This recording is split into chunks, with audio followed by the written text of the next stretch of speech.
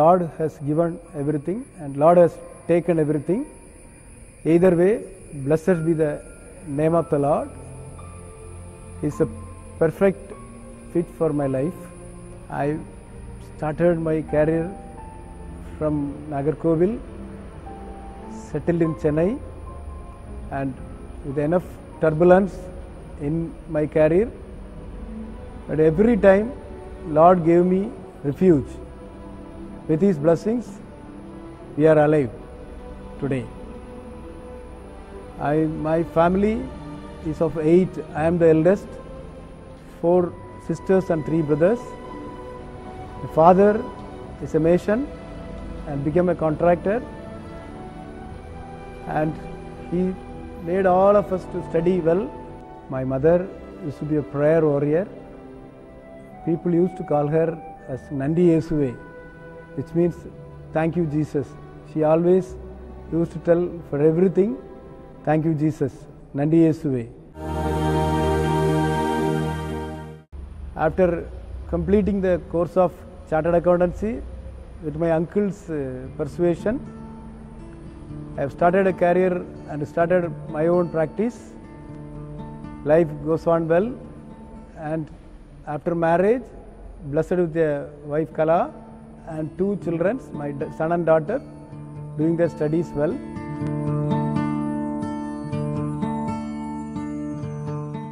I was successfully continuing my practice, and in between, I have decided to revive a sick unit at Trivandrum, a government joint sector company, and I have started mobilizing all my resources and everything to the company, and I shifted my family to Trivandrum. There started the trouble because of mobilization of more funds from the market. And the scheme, the revival scheme was not successful. And it was sadly the results were not came. And it affected everywhere. Those who supported us the mo- money mobilized as capital has to be returned. We were not able to do anything when the things were in the worst scenario i felt i have left the land of canaan which god gave to me and like a prodigal son i have left everything and did a wrong thing which affected the entire family with own house and car and all the facilities in Chennai, our position in Trivandrum reduced to the level of eating ration rice to the house. We have to carry the life with that. Every month we need to borrow huge money to maintain the company, to pay salary for 150 employees and other things.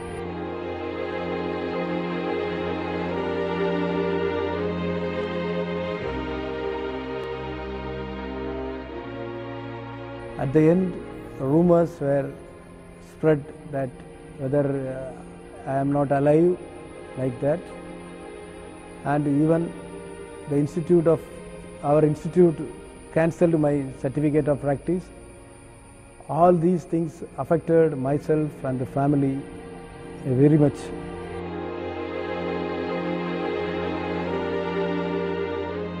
At that time, people suggested us to attend the retreat at Potta Divine Center.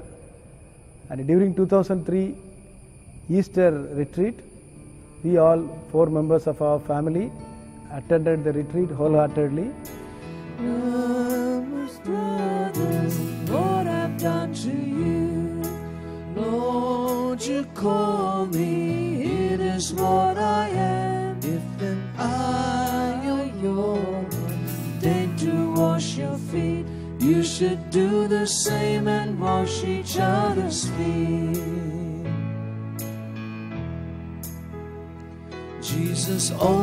Loved his own, and he showed it to the full.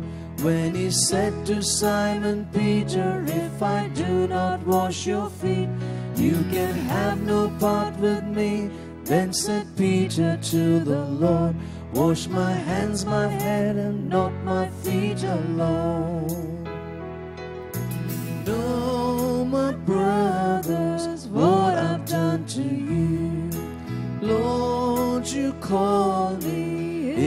Is what I am. If then I, your Lord, deign to wash your feet, you should do the same and wash each other's feet.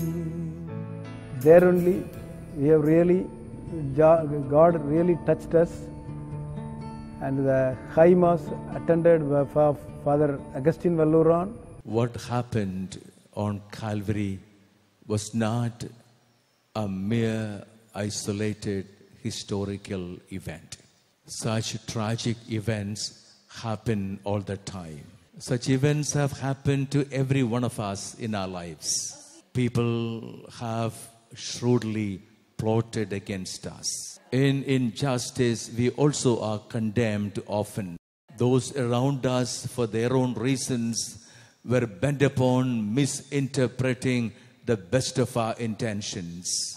But what happened on the cross of Calvary was the culmination of every such sin and pain in the lives of every one of us, of everyone in humankind. gave strength every day in our life when we recommenced our life after a great defeat.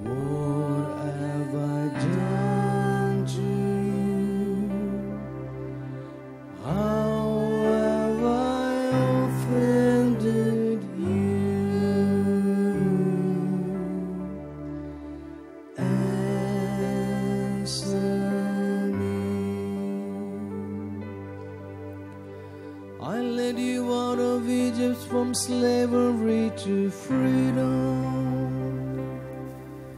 The retreat gave us a very big boost, and we started, we have catch hold of the cross of Jesus in our daily life with prayer and worship. We have started the career, the magazines and the CDs which we have taken from cassettes taken from Divine was the company for us in Chennai for the for second life of our family.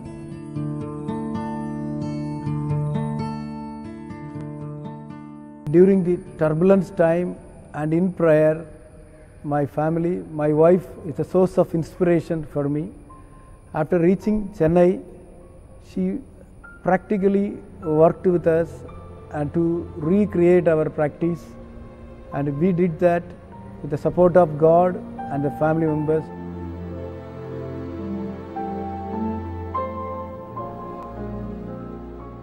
Began our life in Chennai, even though the huge financial loss affecting everyday's uh, progress and everything. But God's grace, we are able to face them very confidently and peacefully we are dealing with the people and God gave everything back to us the house, car, and the children are studying well and everything.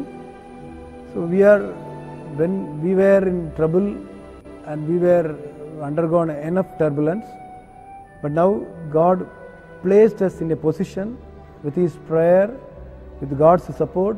Now we are able to help so many people in so many ways. Today I am able to face life because I am dependent on the verses from the Bible. Second Corinthians chapter 4 verses 7 to 10. But we hold this treasure in earthen vessels, that the surpassing power may be of the God and not from us. We are afflicted in every way, but not constrained. We are perplexed, but not driven to despair. We are persecuted, but not abandoned. We are struck down, but not destroyed. Always carrying about in the body of dying of Jesus, so that the life of Jesus may also be manifested in our body. In the midst of uh, business and uh, financial problems, I have taken refuge in God. And with the mercy of God, we are leading a peaceful life now in Chennai.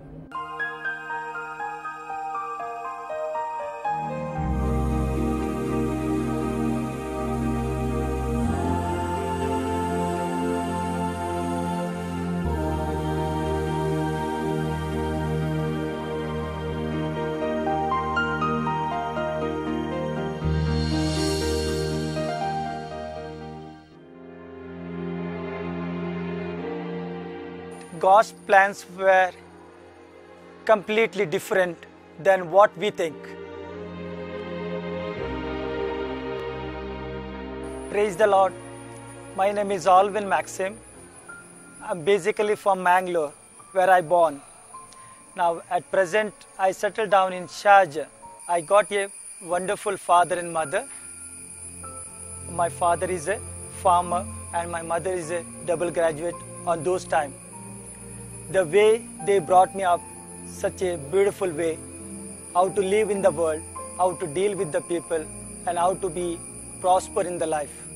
So beautiful way they brought me up and I learned wonderful lesson from my mom. She loves me a lot, even my father too. But I'm unfortunate because I lost my dad in my young age. When I was about five years old, daddy died due to some illness. Those time there was no proper medication. So in that case, he died. And mama brought us up and she gave us the beautiful life as well as education. And uh, really, I'm very sad to say I don't have mother now, but still she is with me. I love her very much from the bottom of my heart. I'm a married person, married with uh, Celine, uh, who is uh, professionally, she's a staff nurse. And I have a son, his name is Aaron Clarin, who is a 15 years old.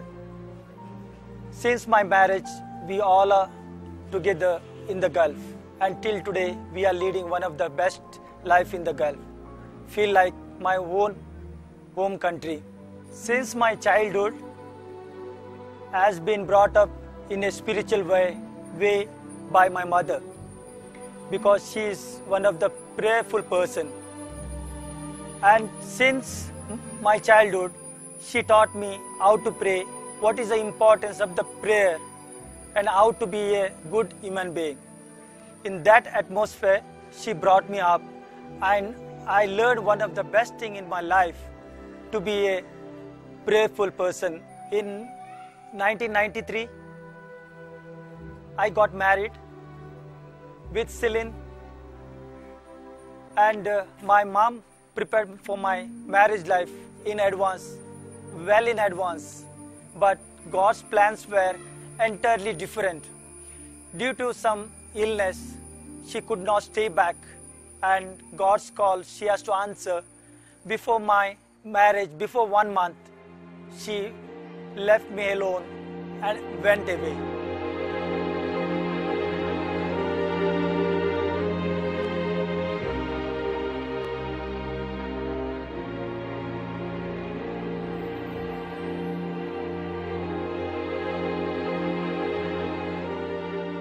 but she had promised me that son the day the day i brought you to the world through my love the same way you have to lead the life. Because i was so touched with mom's love and the affection which i was not willing to continue my life. And i was finding difficulty to live in the world. I heard about Divine Retreat Center. The day I heard about Divine Retreat Center, my one dream was there. I had to reach there.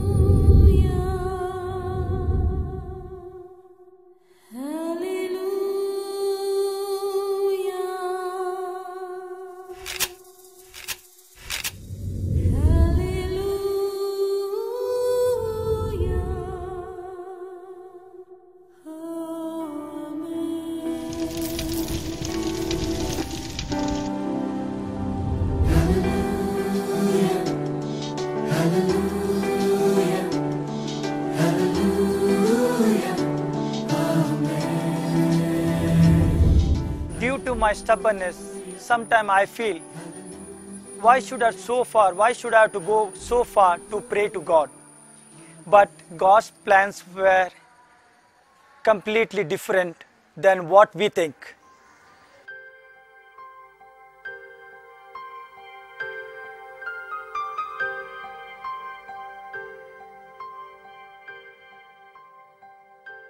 Day by day, I was thinking, still my mind was blocking me to go to the Divine Retreat Center.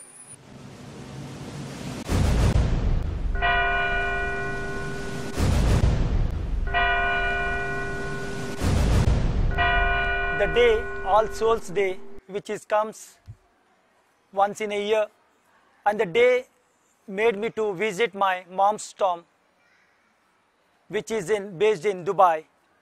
And I went to her grave pray for her, and I remember. And suddenly, I was talking to my mom, and I was so emotionally crying. on of a sudden, I fell unconscious.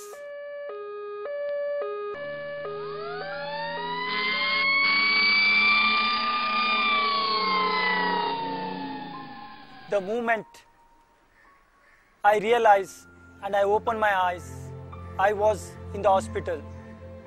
Actually, I was not sure that I will see the world again, but I am the one of the luckiest person where God saved me from my death. Actually, it is not my part of my life, but still, God is give me second life where I had to complete His mission. The time I open my eyes, I can see in front of me the prayer group besides doctor as well as my wife and my son and my sister were crying for me. Due to the high expenses in the gulf which which is not affordable by us so my wife had decided to take me to india where the god's plans was just to me come to india. So all of sudden they decided even doctor said don't delay and better you have to go early as possible for the further test where you can clarify about your heart condition. And that is the moment they decided and they brought me to further medication to india. Finally i reached to india and straight away from the airport they brought me to the hospital. My conscience and god was talking to me speaking to me saying that there is no need of any further test. But still i had to obey doctor's advice. And my thoughts my wife comes to know. And she requested with the doctor doctor give me a few minutes. So i will i will tell you either to go next test or not. So finally my wife decided she prayed and slowly went to the doctor. Before the doctor she came to me and said alwyn i got a call from Divine Retreat Center to go to the one of the best doctor who is Jesus Christ and we have to reach immediately over there. So she requested to the doctor saying that doctor we are not interested and further tests so please allow us to go what we thought and we got a divine call which is the plans of God and we reached to Divine Retreat Center after a break of three days. So finally, I reached Divine Retreat Center, and one of my best experience spiritually, where I was more comfortable other than the outside life. So I started my prayer, and I got experience. So I attended the first mass. Then later, I entered to the adoration, which is conducted by Father Michael. The Bible would tell us so many people got healed because someone else asked for that intercession. Someone else made that intercession for them, and that is why they were healed. The man who was paralyzed brought to Jesus. The people would climb up on the roof and they would put him down in front of Jesus. Jesus looked at their faith and said, Because of your faith, this man is healed. When Martha and Mary cried out to Jesus, that is when the resurrection of Lazarus took place. They interceded and their loved ones were touched. The Lord will touch. If you have honestly declared the greatness of God, His touch of healing is upon you and your family. So I kept on praying and I was asking to God speak to me and I was talking to God. So I felt God is talking to me and whatever the feelings I was telling to God and uh, asking the Holy Spirit to bless me, my health, and uh, in the adoration. So while we are praying, the Holy Spirit is inspired for the Michael, and he has been called my name, saying, Alwyn has been cured from his sickness. So that is the happiest moment in my life. In Divine Retreat Center, I got a beautiful experience and the lesson how to pray, how to read the Bible, and personally how to speak to God and what way God can speak to us. In Psalms 91, whenever you have difficulties, you keep on reciting the same scripture and beautiful experience in the scripture by reciting this whatever the problems you have in your life and god will answer your problems and always keep reading the bible and the scripture recite on that meditate on scriptures so god always will help us how to lead our life whoever goes to the lord for safety Whoever remains under the protection of the Almighty can say to him, You are my depender and protector. You are my God. In you I trust. I went back to Sharjah, back to my work. So always I had desire to visit once again.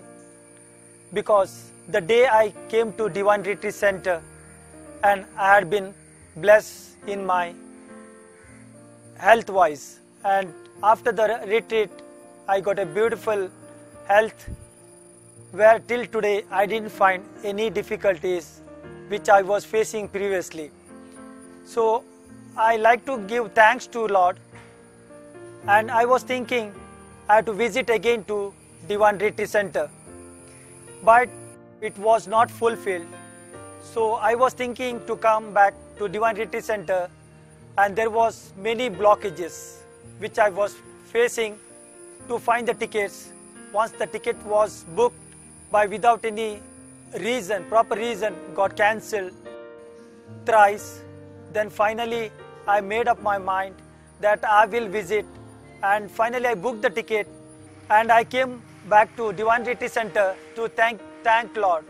After the retreat, God is blessed us in a wonderful way to us. Especially, God is blessed us in such a way where we had a big property dispute which has been solved. Secondly, we had a desire and the dream open up a small in small scale, scale business which has been blessed by God and we had we had a big amount of the loan which has been one by one getting sorted out and our lifestyle has been completely changed.